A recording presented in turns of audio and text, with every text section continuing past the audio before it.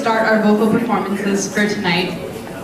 So the next performance, I think, will be the most charming performance because it's some of our youngest performers singing Lakri Ki Kathi, Re Mama Re, and keeping up with the holiday spirit, they'll also wish you all a very Merry Christmas.